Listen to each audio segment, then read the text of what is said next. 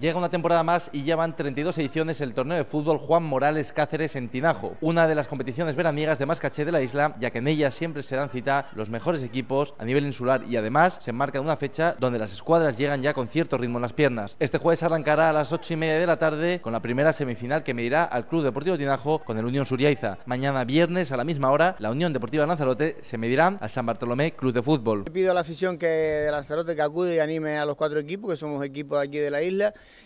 y a la afición del Tinajo, pues pedirles un apoyo este año, que sean pacientes, que tenemos nuevos entrenadores, ellos saben que trabajamos con la gente de la casa, que no tenemos medio como para traer gente de fuera y que es una temporada larga. La final se disputará el sábado a partir de las 9 de la noche en el Municipal de los Volcanes entre los dos ganadores de las semifinales y el tercer y cuarto puesto será a las 6 entre los dos perdedores. Todo ello en un fin de semana marcado por el calor, pero en principio no afectará a los horarios de los partidos porque no se ubican en horarios críticos. Será una buena piedra de toque para los tres equipos representativos representativos de la tercera división y también para el propio Tinajo de la Preferente. La Unión Deportiva Lanzarote llegará precisamente después de adjudicarse el último torneo estival disputado el pasado fin de semana en el Pedro Espinosa Colón de San Bartolomé.